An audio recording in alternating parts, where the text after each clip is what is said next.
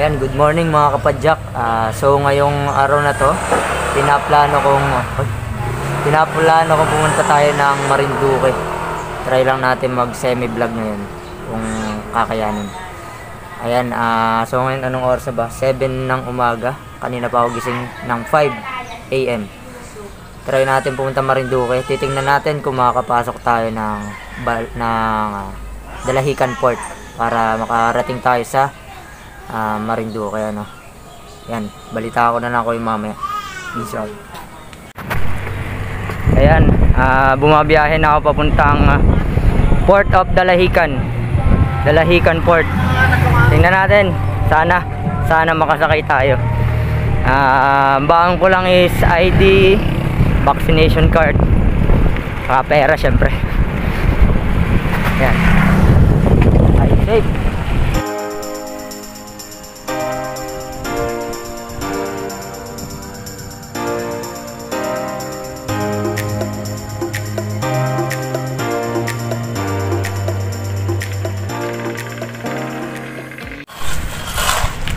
Papasok na ako ng ah, Dalahican Port. Port of Lucena. Try natin. Lapit na ako magbabayad lang ang toll gate. Peace out. Ayan, nakapasok na tayo. Walang toll gate. Doon bata sa unahan ng toll gate. Tinanong lang ako nung unang gwardiya kung may vaccine card. Siyempre, meron tayo. Whew! Level 1. Sinabahan ako dun. Siya.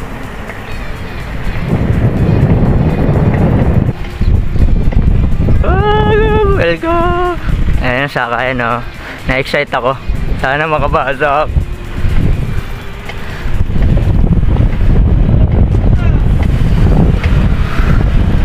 Haba rin itong papasok na to sa Dalahican Port. Yeah! Lapit na! Sana, sana talaga. Papasok. 5 years din ako hindi nakapunta Marinduque. Sa amin. Hoy! Butas pala doon. Balik. Hmm, nakapila na tayo. Vaccine card. Check. Baliktad. Yan, papasok na ako. Sasakay tayo sa Star Horse. Hintayin ko lang yung kasama ko. Here we go!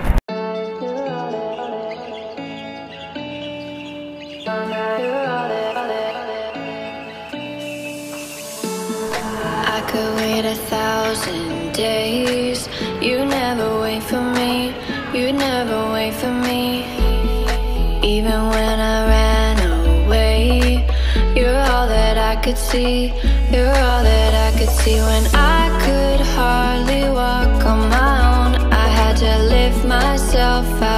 trench below. Haven't I suffered enough to let you go?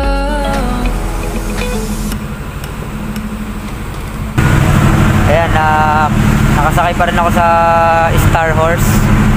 Ah, estimated na oras, 3 hours na biyahe hanggang ah, Balanacan Port. Pagdating ko ron, pupunta ako sa Luzon Datum bago muna ako umuwi sa amin. Sana maliwanag pa.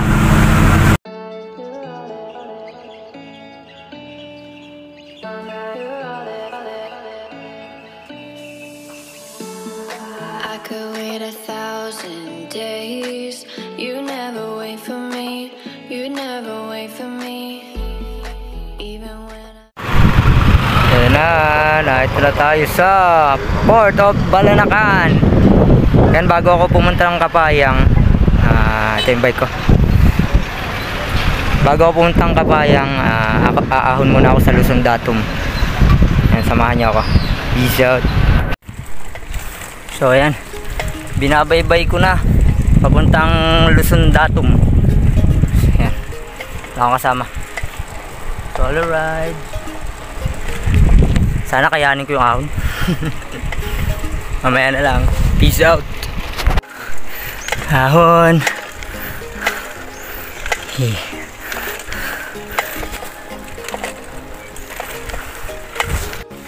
Whew. alauna na ahon. Kaya naman ka na. Ang init.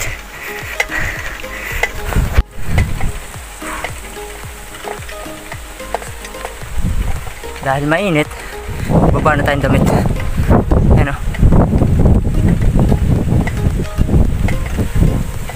Hirap mag-vlog. Oh.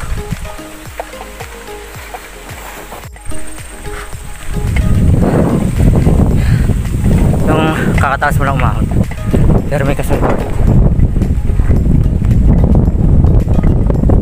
Tarik. Taas. Yan o. Parang may pader. may pader. Siko. Ang hirap umahon ng alauna. Ang tarik ng araw. Nakabag pa. Wala, ginusto ko to. Kaya, go lang. Diretso lang. Diretso lang padyak. Kahit walang kasama.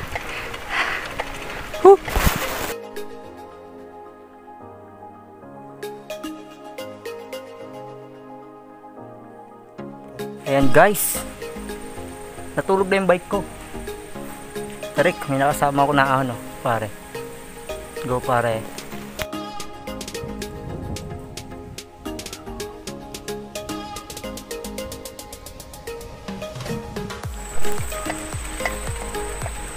Ito na. Ito na ako sa Luzon, Datum. The heart of the Philippines. Ang Marinduque. Sobrang peaceful nga rito sa Marinduque. Sabi ni Zarlim, ating bike wanderer. Ha? Luzon Datum! Thank you Lord. Akit muna tayo magpipicture. Mga guys, akit tayo. Kahit pagod na. Kaya pa.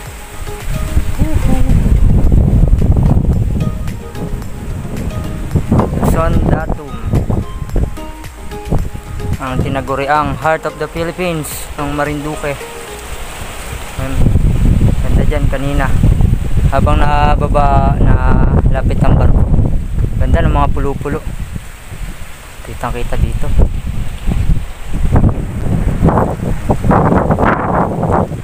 Lalag na yung salita.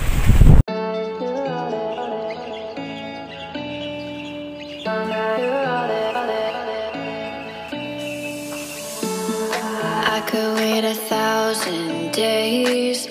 You never wait for me. You never wait for me. Even when I ran away, you're all that I could see. You're all that I could see when I could hardly walk on my own. I had to lift myself out of the trench below.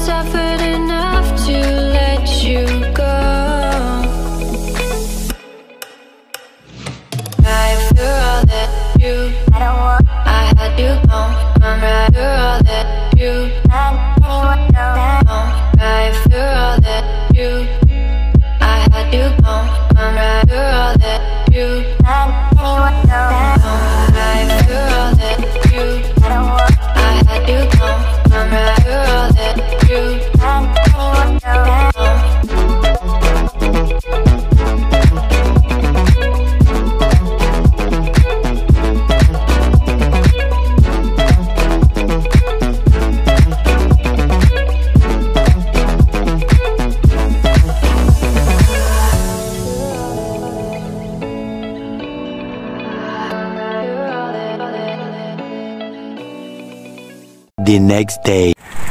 Good morning everyone.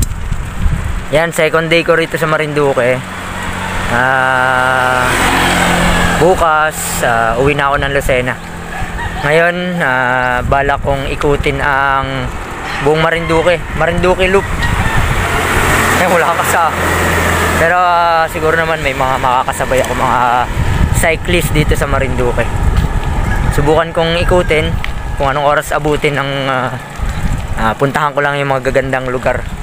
Mga magagandang picturean dito sa Marinduque. Yan. Sana wag gabihin. Nandito ako ngayon sa Mugpog, Marinduque. Kung saan dito ako natulog. Sa aking mga tito, tita. Ayan, ah, kita-kita na lang sa daan. Mamaya na lang. Update ko kayo pag pagod na ako. Bye-bye.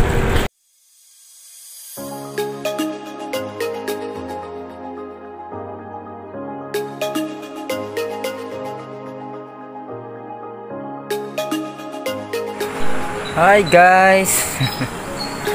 Wala pa ako sa Santa Cruz Marinduque. Pero puro ahon na. Puro ahon ng aking nasabak agad. Umagang kay ahon. Hey! Pagod na agad ako eh. Nakaka 14 kilometers pa lang tayo. Pero sa tingin ko pagod na ako. Sabi ko kanina, magbibideo ulit ako pag ako'y pagod. Yan, pahinga muna tayo. Meron pang 10 kilometers bago sumapit sa Santa Cruz, Marinduque. Then pagkadating ko ron, pupuntahan ko lang naman dun yung statue, statwa ng mga Moryon, yung Moryon dun. Ayan, ah, mamaya na lang ulit. Peace out.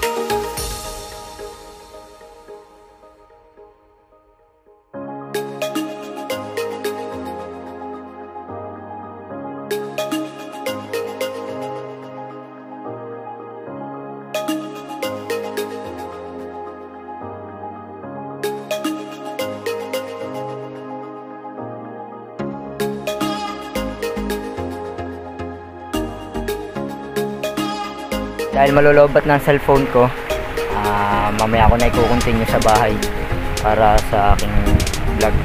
Ah, itong Marinduque loop ko ay nasa 75 kilometers pa lang ata ako or 80 kilometers. Meron pa akong bubunuin na mga siguro mga 50 plus pa para makumpleto natin ang Marinduque loop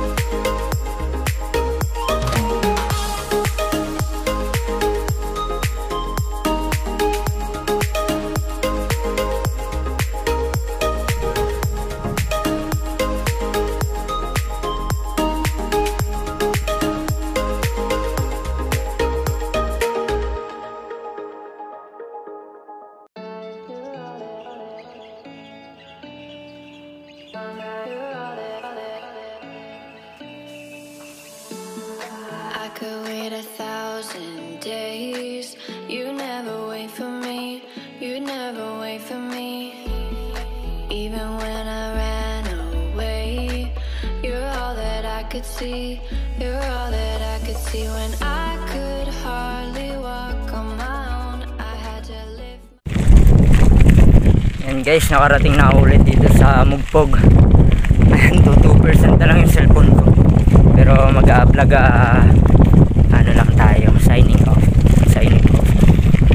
Ayan, ah, natapos ko yung ah, Marinduque Loop. Ah, 7.30 ako umalis sa tayo. Tapos dumating ako ng 4.30. Ang bagal ng takbuhan natin. Chill-chill lang. Ah, ang kilo kilometer sa Strava ko ay 136 kilometers. Simula Mugpog ikot ng Santa Cruz, Torrejos, ah, Benavista, Gasan, Buwak, tapos Mugpog na ulit. Ayan, ah, kung nagustuhan nyo tong video na to, ah, i-like nyo naman. Then subscribe na rin kayo sa aking YouTube channel. Try ko lang mag-vlog kahit cellphone lang ang gamit. Baka naman may mag-sponsor pa dyan. Ayan, maraming maraming salamat sa inyong panonood. Ah, Sana masundan tong vlog na to. Ah, yun keep safe God bless everyone peace out